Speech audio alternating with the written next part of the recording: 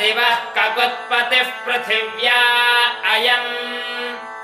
अपाग्रेताग्रसि जिन्वति अयमग्निः सहस्रिणो वाजस्य शतिनस्पतिः।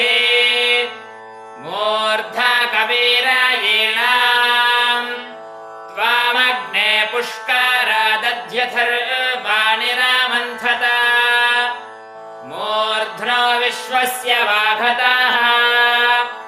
भुवो यज्ञस्य रजसश्च नेता यत्र नियुद्भिः स च से शिवाभिः। दिवि मूर्धानन्दधिषे स्वर्षाञ्जिह्वामग्ने जकृषे हव्यवाहम्।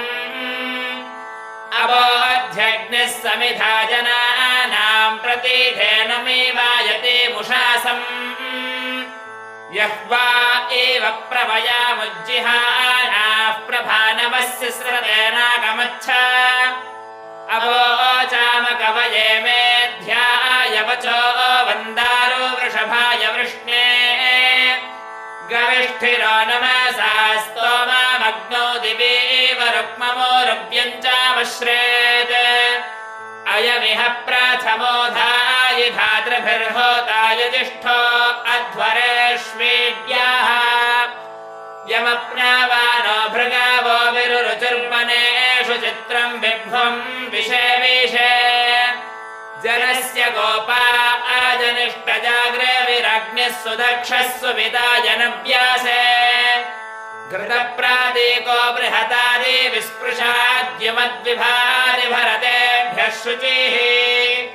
त्वामग्ने अङ्गेरसो गुहाहितमन्वा विन्दञ्छिश्रियाणम् वने वने स जायसे मध्यमानः सहो महत्त्वामाहुः सहसस्पुत्रमङ्गिरः सखायः संवः संयञ्चमिषड्गस्तो वञ्चाग्नये वरिष्ठाय क्षतेनामोर्जो न प्रे सहस्वते